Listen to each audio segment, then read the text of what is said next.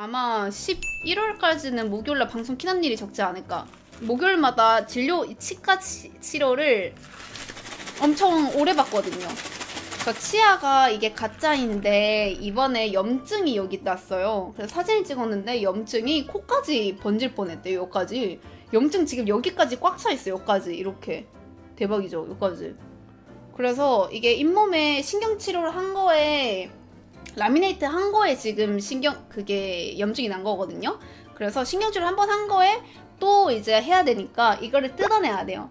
음, 저 인중 누름이 아파요. 화장할 때도 여기 누름이 아파. 염증 때문에. 그래서 가끔 코 안도 아파요, 여기.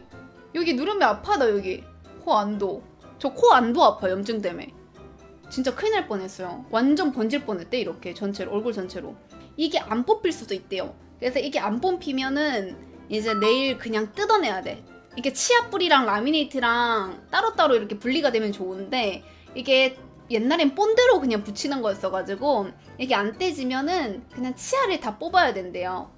그 선택권이 없어. 내일 안 뽑히면 만약에 선택권이 없고 만약에 이 라미네이트만 예쁘게 잘 뽑히면은 이제 뭐 신경치료도 한번 제대로 하고 뿌리 최대한 살려가지고 라미네이트를 한 번 더 하는 건데 내일 뽑다가 안 된다. 그러면 그냥 뭐 신경치료 뭐 그딴 거는 이제 뭐 염증 치료는 하겠지만 바로 그냥 뽑아버리고 임플란트 준비해야 돼요. 임플란트 4개. 내일 좀 기대돼요. 왠지 알아요? 내가 과연 어떠한 진료를 받을지 기대돼. 내일 임플란트를 하게 될까? 아니면 라미네이트를 할 수 있을까? 이 라미네이트가 뽑힐까? 라는 약간 궁금함? 약간 호기심? 정해진 게 없으니까 응? 내일 과연 나는 어떠한 선택을 하게 될까? 선택을 할 수 있을까? 임플란트를 하게 될까? 이러면서 내 인생의 설계가 내일 되는 거니까 치아에 나 공실이 됐어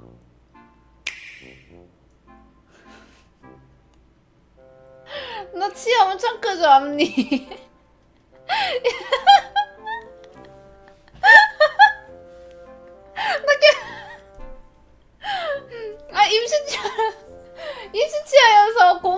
돼서 어떡해. 아니 너무 대충 만든 거 아니냐고. 대학병원 뉴트리 아닙니다.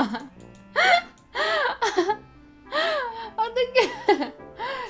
아니 대학병원인데 치아를 임시치아를 나 지금 목요일까지 다음 주 목요 일주일 넘게 이 치아로 살아야 되는데 나 목요일날 이번 주 이틀 뒤인가? 이틀 뒤에 나 그 틴트 방송 어떻게 해 홍보 방송 큰일 났다 아니 왜 이렇게 크게 만들었지? 아니 무슨 쥐새끼 같잖아 생김새가 아니 입을 아니 입을 이렇게 해도 치아가 보여 어떡해 이렇게 해도 보이네?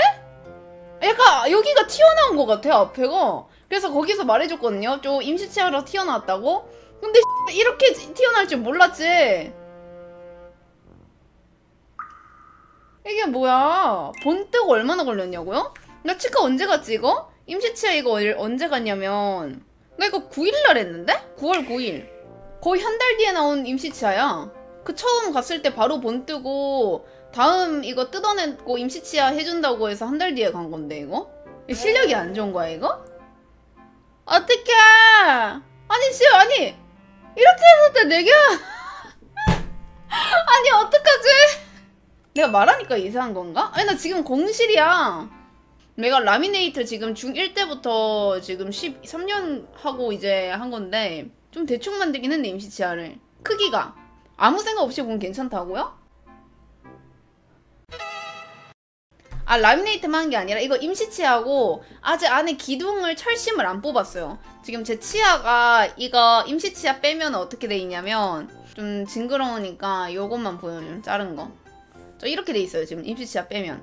근데 이 위에 요 정도가 지금 하얀 이가 있긴 하거든요. 그래서 이거를 이제 뜯어내야 되는 거예요. 이거를. 왜 치아를 갈았으니까. 그래서 이거를 이제 안에 기둥이랑 철심을 빼내야 되는데 철심이라 해야 되나?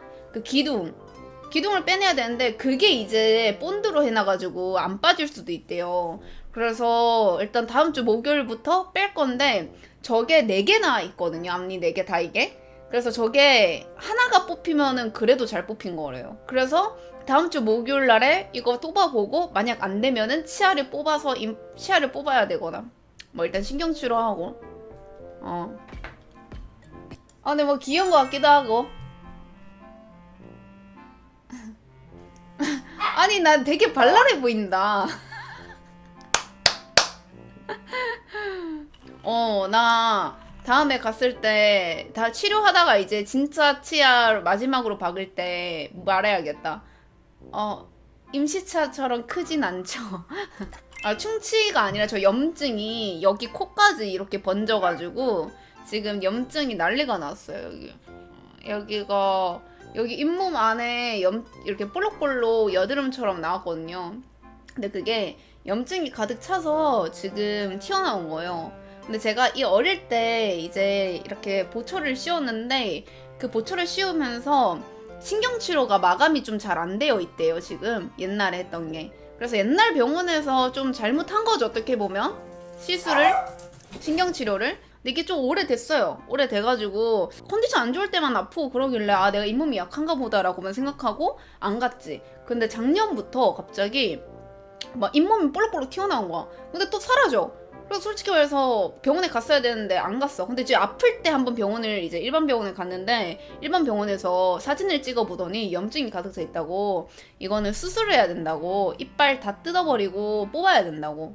만약에 살리고 싶으면은 더 큰 병원을 가보라고 해서 대학병원을 예약을 한 두세 달 기다려가지고 상담을 받고 이제 오늘 처음으로 보철을 뜯어낸 거예요. 보철만 뜯어낸 거야. 겉만. 그래서 하나도 안 아팠어요. 그냥 망치로 뜯어내길래 머리가 그래서 이렇게 되는 거야. 진짜 어어 어 어, 진짜 이렇게 망치로 뭔가 계속 두드리는 거야 나 공사 내 이에서 공사가 이루어졌다니까요. 그렇게 공사를 하고 이제 뜯어내서 이제 임시치아를 저번에 본뜬 거 처음 진료 갔을 때 그 본뜬 거를 한 거죠. 그래서 이 임시치아를 거의 한 달 반은 껴야 되는 거거든요. 그래서 큰일 났어. 음, 이거 교과서에 나오는 거의 뭐 약간 표본 같아. 틀니 표본. 봐봐